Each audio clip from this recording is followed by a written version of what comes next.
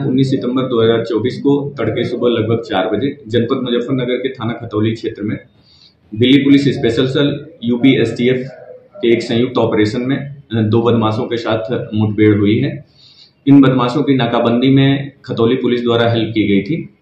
इस मुठभेड़ में दो बदमाशों के पैर में गोली लगी है और इन बदमाशों की पहचान अनस खान एवं असद के रूप में हुई है, जो कि दोनों ही दिल्ली के रहने वाले हैं।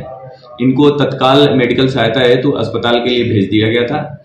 इनके पास से तीन अदद पिस्टल, नौ अदद ज़िंदा कारतूस और चार खोखा कारतूस और एक चोरी की गई सेल्टोस कार बरामद हुई है।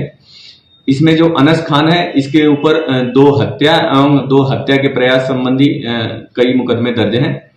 इसके साथ ही जो असद है, उस पर चोरी और आर्म्स एक्ट सहित अन्य मुकदमे दर्ज हैं। इनके संबंध में अन्य जानकारी भी की जा रही है। और इस संदर्भ में अग्रिम विधिक कार्रवाई अमल में ली जा रही है।